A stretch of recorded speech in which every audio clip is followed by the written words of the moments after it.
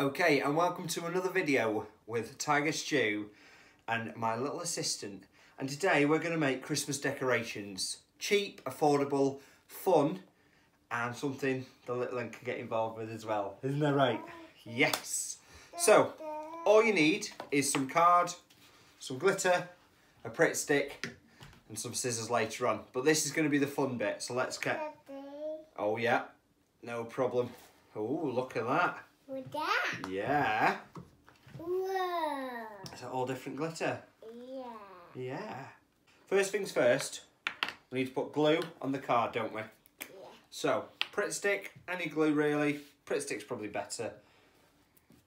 Any glue will do, but Pritt stick, you'll get a good fair amount on. Daddy. Daddy. Don't have to fill all the card, because what we're going to do after this is cut some shapes out. So stars, Christmas baubles, um, you can make them for the tree. That's a good girl. Do you want to tip it on the card? Let me move that out of the way. That's a good girl. Uh, Try to tip it on there. There's loads in there. Wow.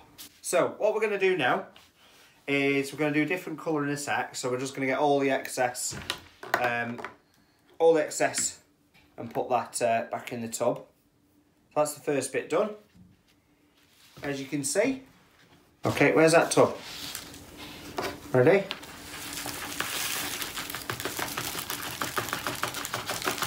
oh. And what we'll do is any odd bits of glitter afterwards, we're going to put all into this tub. Should we do next one?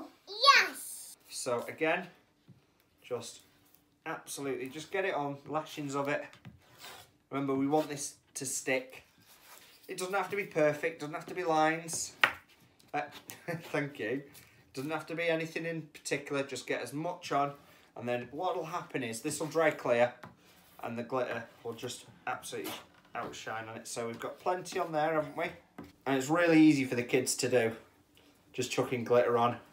But it's nice they've made something and brings that special togetherness at Christmas, doesn't it? There you go. Shake, shake, shake it up high. Should we put some silver on as well?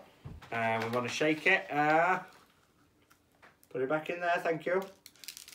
Okay, so we're going to have a few stars on this one. Okay, and that's the second one done. While Sophia's picking the colours, let's get some more. Um, Which ones do you want? Trying to shake it on. That's it on the. That's it. You go all over. All over like that. That's it.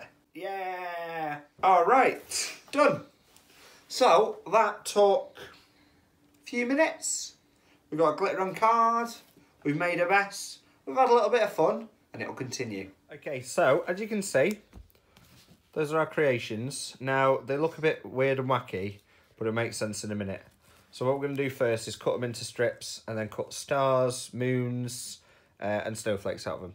So here we go. As you can see, they're all cut into strips. So now really it's just picking what shape you want and cutting them. So this one I'm going to go for a star. And you can have them as big or as small as you want. And you can draw them, it's entirely up to you. I decided not to. I just uh, decided to freehand cut, to be honest. Uh, now, this bit is definitely for the adults. This isn't for the kids, unless they're old enough, uh, which my little girl isn't. So I'm going to do all the cutting for her.